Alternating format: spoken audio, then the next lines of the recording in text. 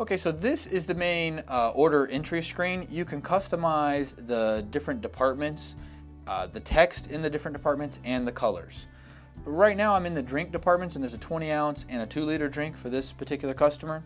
I want to show you if we want to go ahead and add another drink, how simple it is. You'll select on Manager, Administrative,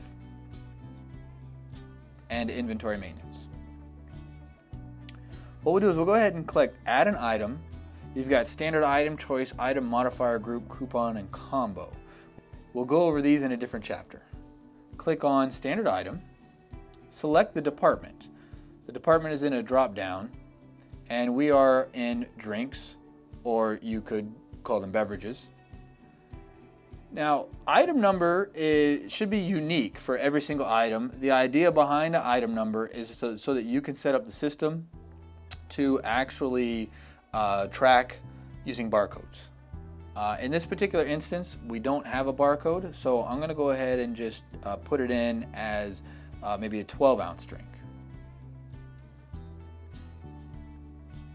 As long as I don't have another item with that same name, it'll be fine. If I want to take it a, a little bit further and maybe call it uh, Coke for inventory purposes, I can do that. 12 ounce.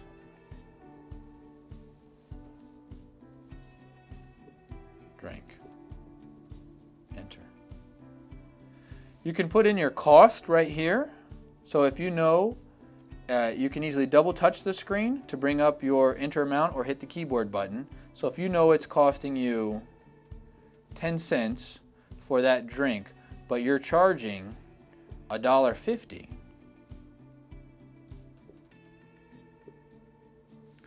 and it will automatically calculate the sales tax if you've put the sales tax feature within the system. There it is, so a 1.63.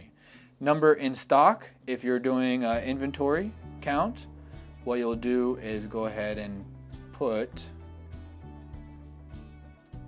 that you have 15 in stock and it will count this item if this is selected here. If you don't want to keep track of inventory, maybe because it's a, a fountain drink or something like that, you can actually just hit un, uncheck, count this item, and save and done. We'll go ahead and uh, leave it checked. Your item has been added, added. Would you like to add another item? I'm going to go ahead and select no. If you want to hit yes, you can continue adding more items with ease. I will go ahead and exit out of the system, select drinks now, and there it is as a 12 ounce drink. I can ring it right up. It's just that easy to add an item in this software.